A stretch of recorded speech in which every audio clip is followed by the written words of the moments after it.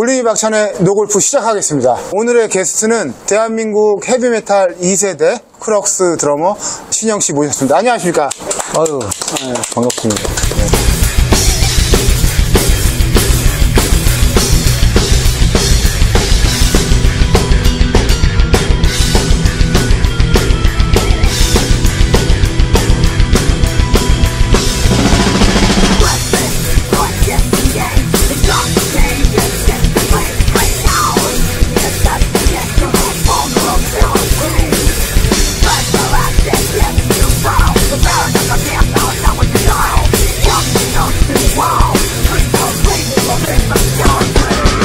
소개 좀 간단하게 좀 부탁드리겠습니다. 저는 1990년 Friday Afternoon 3라는 한국 헤비메탈 compilation 앨범 3집에 크럭스로 데뷔해서 지금까지 그냥 근근히 먹고 살고 있는 네, 신영이라고 합니다. 반갑습니다.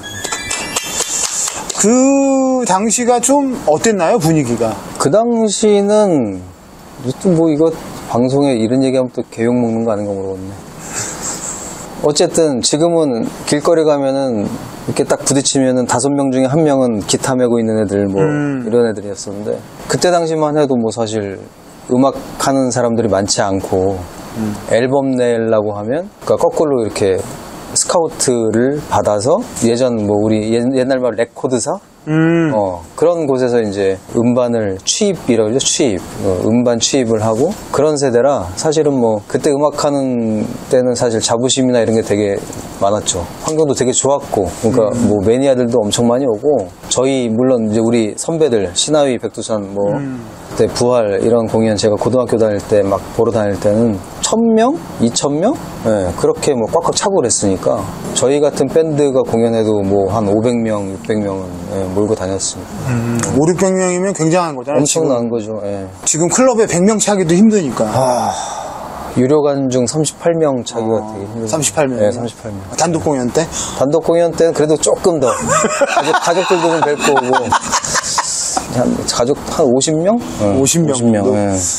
그 당시에 우리 신영 씨는 골프나 이런 거에 대해서는 취미 활동으로 아, 주 작은 생각 그리고 뭐 이제 눈으로 이렇게 보고 한번 해보고 싶다 이런 생각은 드셨나요? 혹시? 솔직하게 얘기해야 되죠. 예. 아놀드 파마밖에 몰랐어요. 아놀드 파마. 어, 골프 하면 아놀드 파마. 어. 전혀 골프는 왜 채널 잠깐 돌리다가 골프 뭐 AFKN에서 미국, 미국 방송, 미군 방송 거기 골프에 골자만 나와도 그냥 확 치워, 치워버리는 음, 전혀 관심이 없었죠. 제가 SNS에 글을 찾아봤는데 어, 순전히 나를 위한 시간을 갖고 싶다 그리고 나한테 본인에 대한 내 자신한테 선물을 하고 싶다 그래서 막 언젠가 한 2년 전인가 1년 어, 전인가 맞아, 맞아, 맞아. 막 용품들을 하나씩 사서 올렸잖아요. 사람들은 네, 네, 모르는 사람은 모르고 아는 사람만 아는 뭐 신발 먼저. 응, 응. 그래서 난딱 보고 아 같은 또 우리가 어. 또 방망이질 하니까 어 이제 어 골프하다. 어. 그러고 나서 이제 골프채도 사시고 맞아요. 어 계기가 어떻게 된 계기인가요? 혹시? 음, 제가 작년 4월 13일 날 등록을 했거든요. 4월. 4월 13일 날. 잊어먹지도 않아. 음. 제가 4월 14일 날이 회사 입사한 날이에요. 95년 4월 14일 날이. 뭐 지금 95 직장을, 년. 직장을 다니고 있으니까. 근데 제 생일이 10월 3일이고, 재작년, 재작년 제 생일날 딸들이 이 시계를 선물해줬어요. 딸들이. 근데 이 시계가 갤럭시 워치인데 여기에 골프 edition이 있는 앱이 있는 걸 사라고 저한테 그 판매하는 사람이 추천을 하더라고요. 어, 지금 이 정도면 골프 에디션 있는 게 좋으실 것 같은데요. 그래갖고 그게 재작년 10월에 저는 골프 제 인생에 골프는 없으니까 그냥 아무거나 그그 앱 없는 걸로 쓰세요라고 내가 했거든. 지금 제일 후회하고 있는 게 그거. 내가 왜 그때 안 했지? 아! 그러니까 불과 10월달 11, 12, 1, 2, 3, 4 6개월 사이에 확 바뀐 거지 골프에 골자도 없었는데 그 한 번은 후배가 골프장에 그 인도 연습장에 있다고 연락이 와서 음.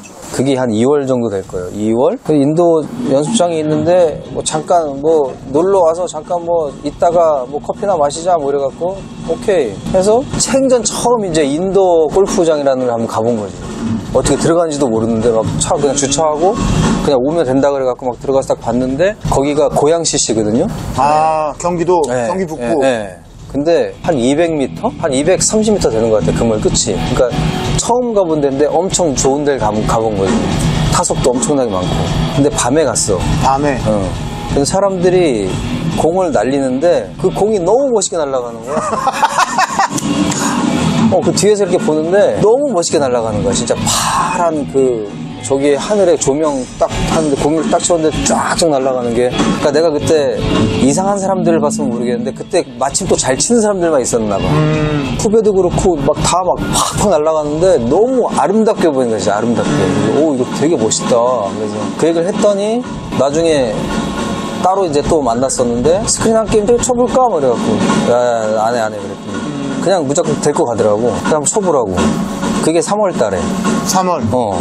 그래서 쳤는데 뭐 의외로 좀 내가 맞췄나 보지? 그랬더니 어?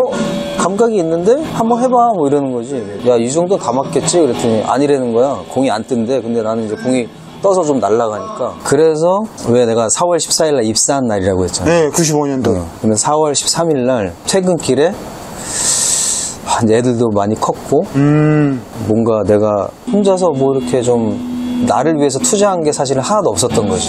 물론 다른 사람들이 봤을 때는 드럼을 치고 주말에 내가 하는 음악 활동하고 이런 거를 사람들은 되게 네가 하고 싶은 거 하고 산다라고 생각을 하지만 우리 음악하는 사람들은 안 그러잖아. 그게 사실은 그게 내 어떻게 보면 직업보다 더 중요한 음악 생활이고 그러니까 이것도 스트레스가 엄청나게 많잖아. 그러니까 나한테는 이게 사실 활력소가 아닌 거지. 나한테는 사실은 사실은 스트레스지 음악하는 자체도. 이게 잡이다 보니까. 그렇지, 또. 그렇지, 그렇지. 음. 뭐 다른 사람들은 어떻게 생각할지 몰라도 회사 생활 그리고 주말에는 음악 생활이 하는 게 나한테 다 스트레스인 거야. 또 음악을 또 리더를 하다 보니까 탈출구도 사실은 좀 필요했고 퇴근길에 딱 봤는데 골프 연습장이 그날따라 또 눈에 딱 보이는 거야.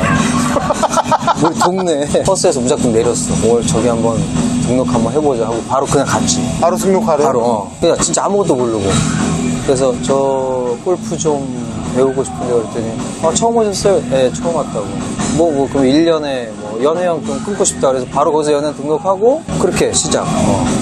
거기 연예연이 등록한 데가 경기 북부인가요? 아니 아니 인천 우리 쪽에? 동네 예. 아, 동네. 인천 예, 쪽에? 검단 어, 실외인가요? 아니요 실내 실내 아. 실내 연습장 그냥 아. 어, 어, 그냥 실내 연습장 실내 연습장에? 네.